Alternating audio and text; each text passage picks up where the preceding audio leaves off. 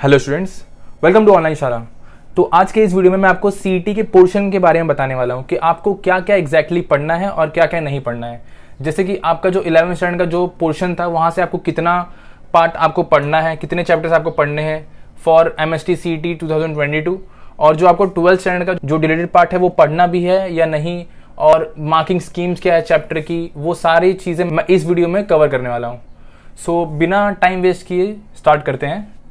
तो सबसे पहले आपको आना है जो हमारी सीटी की जो वेबसाइट है ऑफिशियल वेबसाइट आप देख सकते हैं यहाँ पे सी T cell dot Maha C T dot O R G यहाँ पे आपको आना है। उसके बाद आपको यहाँ से आ जाना है यहाँ पे।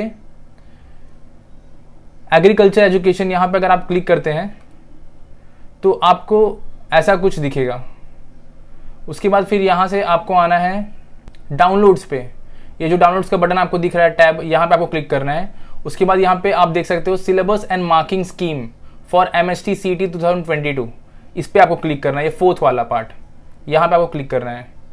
तो ये आ गया आपका syllabus for your M S T C T two thousand twenty two यहाँ पे आप देख सकते हैं साफ़ साफ़ सामने लिखा हुआ है।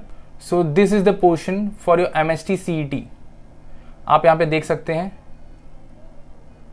तो ये मैं आपको एक बार अच्छे से पूरा एक्सप्लेन कर देता हूँ। सबसे पहले देख सकते हो आप पॉइंट नंबर वन यहाँ पे क्या लिखा हुआ है। The question will be based on syllabus of S C E R T तो बहुत सारे स्टूडेंट्स हैं जिनको ये डाउट रहता है कि सर, हम लोग सी टी का प्रिपरेशन कर रहे हैं तो हमें एन e से पढ़ना चाहिए या अपनी जो महाराष्ट्र स्टेट की टेक्स्ट बुक है वहाँ से पढ़ना चाहिए? तो यहाँ पे आप देख सकते हो साफ़ साफ़ लिखा हुआ है S C E R T जो हमारी महाराष्ट्र स्टेट बोर्ड की जो टेक्स्ट बुक है, वहीं से आपको क्वेश्चन पूछे जाएँगे for your M S T C T two two exam और उसके बाद सेकेंड पॉइंट आप देख सकते हैं यहाँ पे। Approximately twenty percent weightage will be given to standard 11th curriculum and 80% weightage will be given to standard 12th curriculum while setting the question paper. तो यहाँ पे क्या बोला जा रहा है कि आपका जो 11th स्टैंडर्ड का जो पोर्शन है, वहाँ से आपको सिर्फ़ 20 परसेंट सी के एग्ज़ाम में पूछा जाएगा। और जो आपका ट्वेल्थ स्टैंडर्ड का जो पोर्शन है, जो आपका सिलेबस है ट्वेल्थ स्टैंडर्ड का, वहाँ से आपके CT के एग्ज़ाम में 80 परसेंट क्वेश्चन आएँगे। ओके उसके बाद हम थर्ड पॉइंट देखते हैं। There will be no negative marking जैसे कि जे डबल और नीट में होता है कि वहाँ पे आपको नेगेटिव मार्किंग होती है। अगर आपने गलत क्वेश्चन आपको जो एमसीक्यूज आते हैं, उसमें अगर आपने गलत टिक कर दिया तो वहाँ पे आपको नेगेटिव माइनस वन हो जाएगा, अगर आपने गलत क्वेश्चन को टिक किया तो। लेकिन यहाँ पे सी के एग्ज़ाम में आपको नेगेटिव मार्किंग नहीं होती है।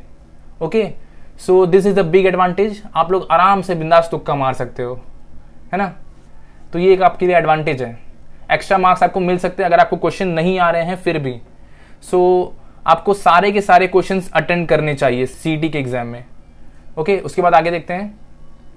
However the difficulty level will be as per the J double main for mathematics physics chemistry and difficulty level for biology will be as per with NEET this question will be mainly application based तो यहाँ पे जो आपका difficulty level है वो बिल्कुल जे double E mains की तरह ही होगा और नेट की तरह ही होगा बट आपको नेगेटिव मार्किंग नहीं है ओके उसके बाद फोर पॉइंट फोर्थ पॉइंट क्या बोला जा रहा है यहाँ पे?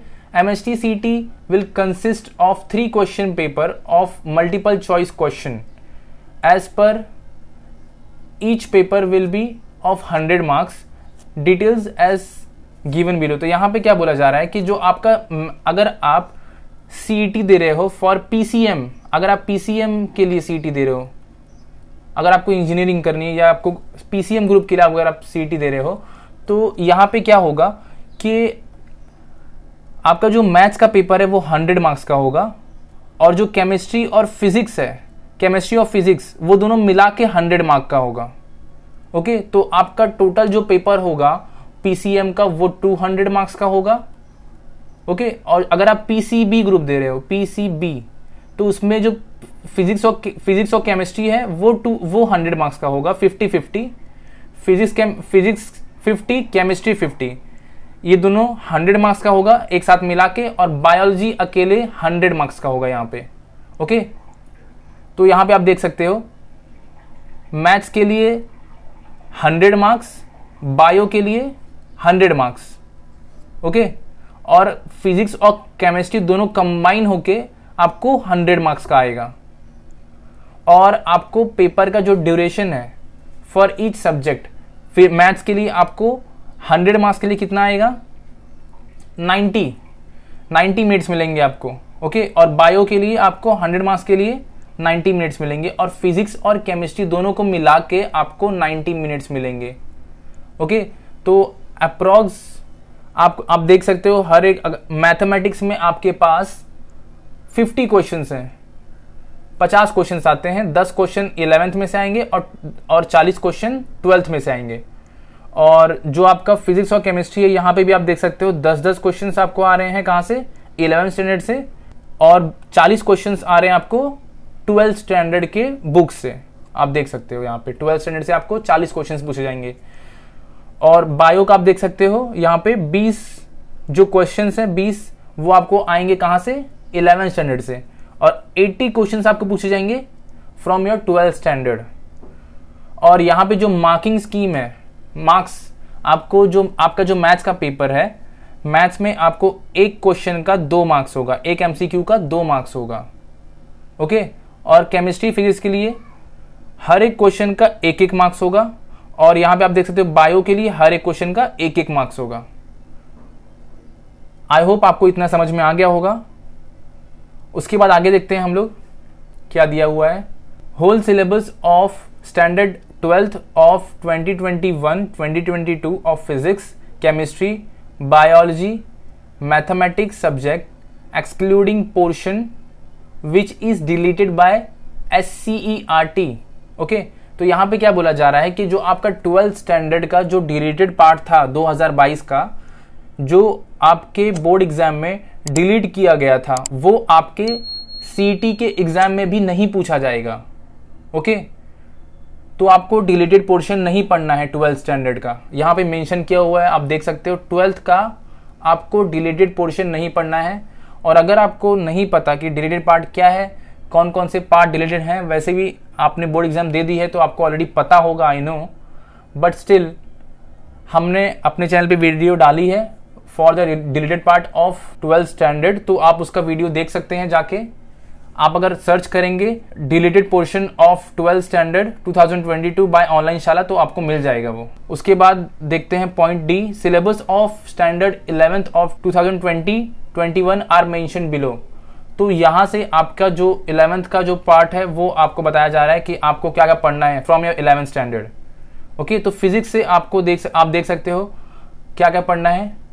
Motion in a plane laws of motion gravitation thermal properties of matter sound optics electrostatics semiconductor ये सारे चैप्टर्स आपको पढ़ने हैं।